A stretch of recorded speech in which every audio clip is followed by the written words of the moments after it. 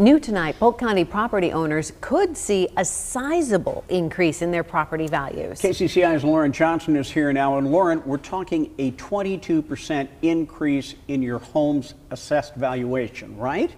That's right, Stephen Stacy. The Polk County assessor said that's about the average increase in value as far as commercial property. Those owners can expect to see an 18% increase.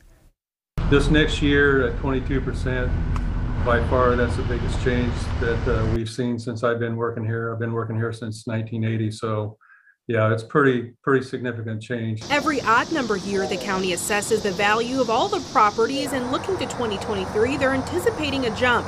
Ripperger says since then, property values have nearly doubled since last year. And based on the sales that have been occurring the last two years, uh, market values, what the sale prices have been outpacing our assessments. This announcement comes as a shock to some homeowners in Polk County who may have to pay more in property taxes. I don't think anyone wants to pay any more money than they have to, so I don't love the idea of that. Those tax dollars are used to fund government and county services as well as fund local schools. Residents say if the money is going to make Polk County a better place, they could get behind the increase. Like if we were contributing to more like of the homeless situation or like our taxes could actually do something good, then I would be okay paying more, I guess. But there's a lot of sidewalks downtown that like trees aren't trimmed.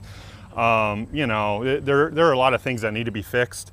So as long as they're going to the right stuff, I'm fine with it. Now, once the city has notified a property owner that their property values will be increasing, the owner does have the right to appeal the assessment. Ripperger anticipates they will send out about 190,000 notices. Then they can file a protest and go through the appeal process that, that we have here in Iowa. Now, the county will assess property starting next year. Property owners won't have to start making those payments on the new amount until September 2024 and March of 2025.